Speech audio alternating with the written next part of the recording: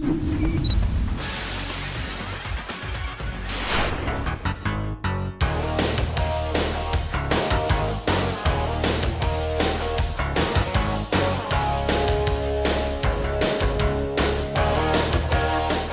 pájaros de acero que surcaron el cielo en la Guerra de las 100 Horas en el 69.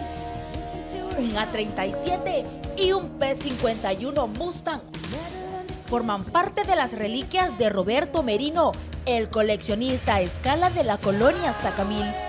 Fueron los aparatos que fueron comprados en el 2014 por El Salvador al ejército chileno. al igual que el A-63, utilizado en Vietnam para bombardeo y localización de radares enemigos. Este Jet Probos MKS es una réplica de una avioneta. Ricardo también forma parte del club. Él decidió desnudar su ingenio y modificó los aviones con un sistema eléctrico. Articular las piezas, en este caso lo que sería la hélice de la aeronave y darle un poco más de dinamismo al modelo.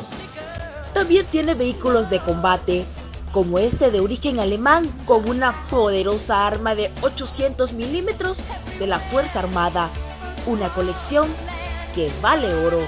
Flor Guerrero, código 21.